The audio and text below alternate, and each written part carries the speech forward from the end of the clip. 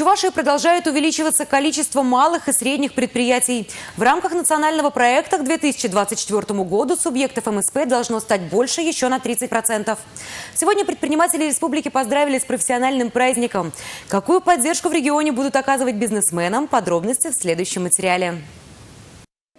От тех, кто только начинает свое дело, до директоров заводов с многомиллионным оборотом. Каждый год в республике выбирают лучшие бизнес-проекты. Среди победителей предприятия с высоким инвестиционным потенциалом.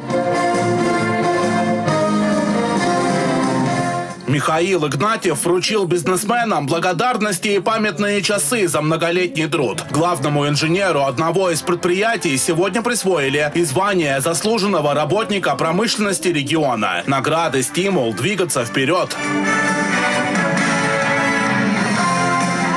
Только субъектов малого и среднего бизнеса в республике насчитывается более 47 тысяч. Это налоги в бюджет и рабочие места. Создать комфортную среду предпринимателям – приоритетная задача правительства. Большого эффекта ожидают от господдержки сферы МСП.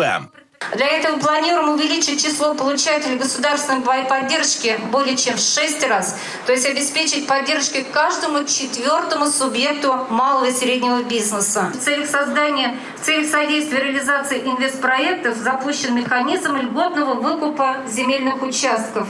Напомню, указом главы Чувашской республики Михаила Васильевичем Игнатьевым установлена цена покупки земельного участка в собственности в размере 15% от кадастровой стоимости Бизнесмены не должны становиться курьерами, которые бегают из одного места в другое. Для этого в столице региона откроется специализированный центр, где предпринимателям будут оказывать необходимые услуги. Расширяется сеть бизнес-окон муниципальных МФЦ. Становятся доступными льготные займы.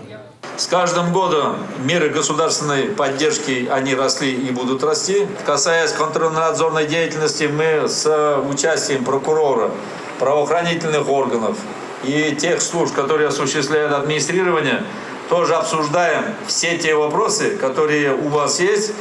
Глава региона обозначил и задачи для бизнеса. Необходимо наращивать объемы продаж за рубеж. Здесь на первый план выходит кооперация предприятий.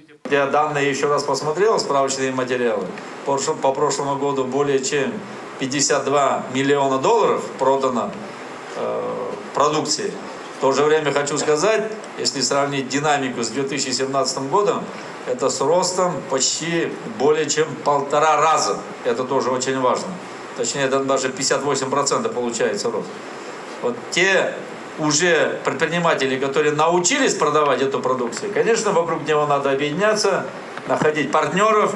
Вниманием бизнес обделен не будет. 2020 в стране уже объявлен годом предпринимательства.